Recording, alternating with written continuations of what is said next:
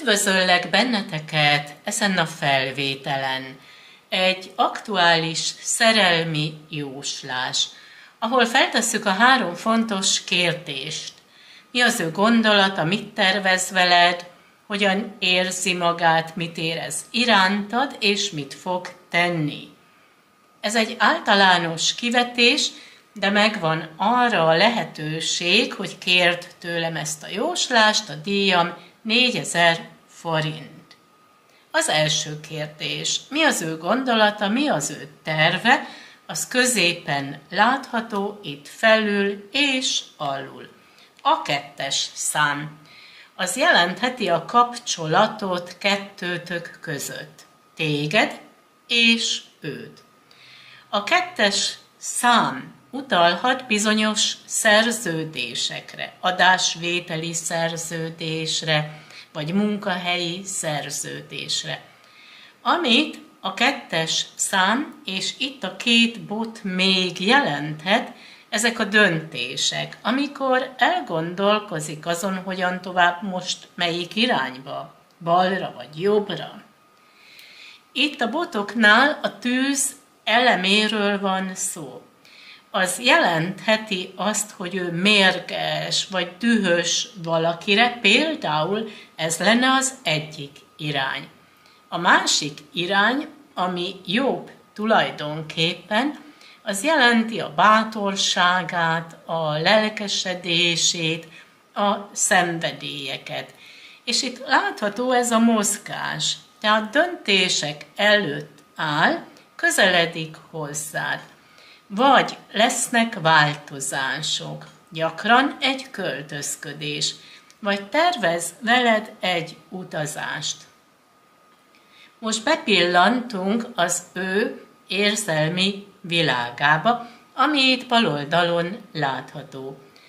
A halál kártyája az lehet egy örökösödési ügy is, de Gyakran ennek inkább szimbolikus jelentése van, hogy ő lezár most valamit, ami itt is látható, hiszen az egyik partot elhagyja, útban van egy új part felé, például jelentheti azt, hogy közeledik hozzá, de még nem érkezett meg. Tehát egy átmeneti időszakról van szó. Itt kisüt a nap. Láthatóvá tesz valamit vagy valakit, ami azt jelentheti, hogy ő látni akar téged, és szeretne veled tisztázni bizonyos dolgokat. Hogy mit fog tenni, az itt jobb oldalon látható. A tízes szám jelent egy új kezdetet, amikor egy új periódus kezdődik az életetekben. De kezdetben vannak azért még korlátozások. Ő jön hozzád, a kezében van az arany kehely, ugyanúgy itt is ez látható, ami jelenti az ő érzelmeit. Kezdetben még bizonytalan, de idővel olyan lesz a fellépése, mint egy király biztos a dolgában, és kimutatja az érzelmeit, tervez veled együtt valamit. Lesznek döntések, lesznek változások. És megnézzük, hogy mit mutatnak még a kártyák.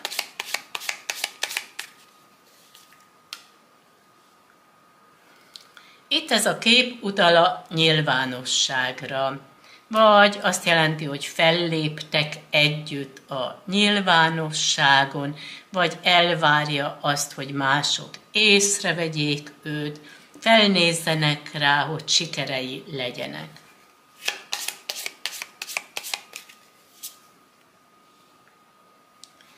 Itt a négy levelű lóhere szerencsét hoz, tehát lesz egy szerencsés fordulat.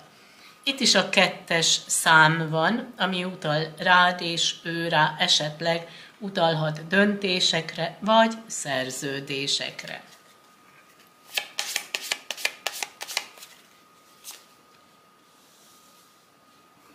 Itt a madarak jelentik a mozgást, a könnyűséget és a csevegést.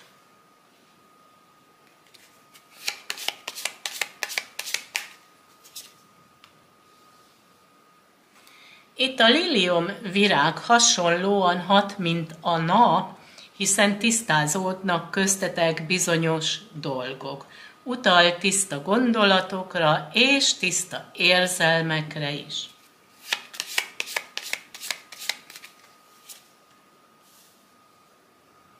Itt a fa jelentheti a biztonság érzetét, hogy ő lezár valamit, keresi a helyét az életben, ahol le tud gyökerezni.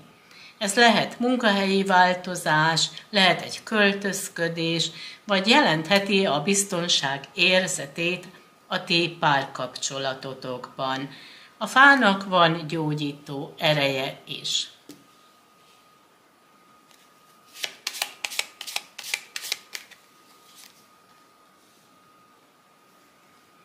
Itt ez a hölgy téged szimbolizál, tehát veled együtt tervezi itt a jövőt. Az is lehet, hogy elvárja azt, hogy te hozz itt döntéseket.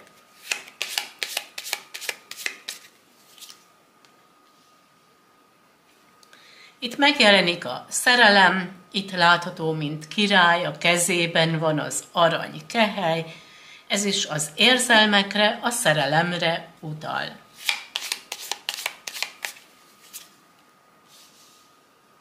Kisüt a nap, láthatóvá tesz valamit, ugyanúgy, mint itt, és itt tisztázódnak bizonyos dolgok kettőtök között, azon kívül látni akar téged. Az ő jelenlegi helyzete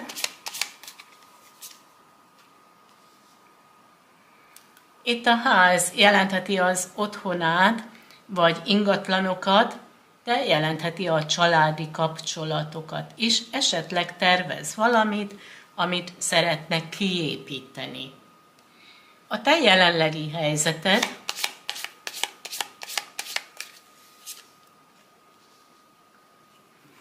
Itt a hegyvidék utalhat kirándulásra a hegyekbe, de jelenthet még korlátozásokat, akadályokat. Itt is látható még az akadály.